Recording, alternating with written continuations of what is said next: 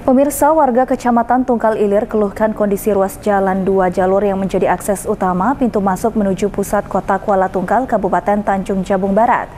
Pasalnya status jalan nasional ini selalu tergenang air, pasang laut maupun air hujan setiap waktu yang membuat aktivitas warga sekitar menjadi terganggu.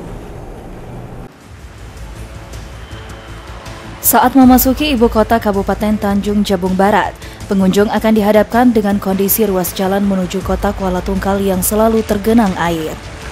Air yang tergenang ini adalah air limpahan pasang laut yang bisa mengakibatkan kendaraan baik roda 2 maupun roda 4 dapat berkarat atau korosi bahkan hingga menyebabkan kerusakan. Pasalnya air pasang laut yang menggenangi badan jalan mengandung kadar garam yang tinggi.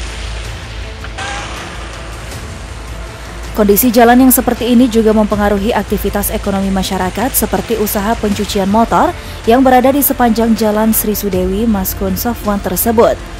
Bahkan tidak adanya drainase di sepanjang jalan ini juga menyebabkan air tidak mengalir normal dan mengenangi halaman rumah dan tempat-tempat usaha warga.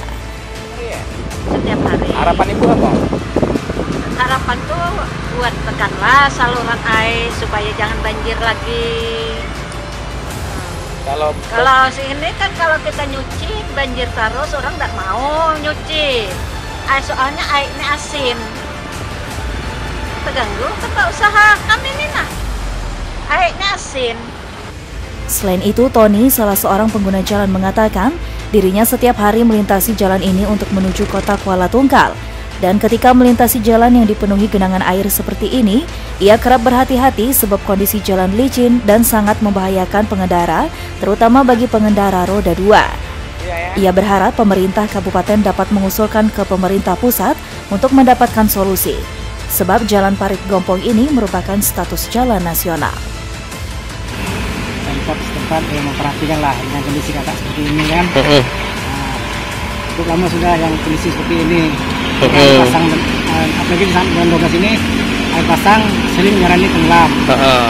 Hujan pun juga sekarang ini kita lihat hujan, hmm, tergenang juga ya bang ya. Surya Kurniawan, Cek TV, melaporkan.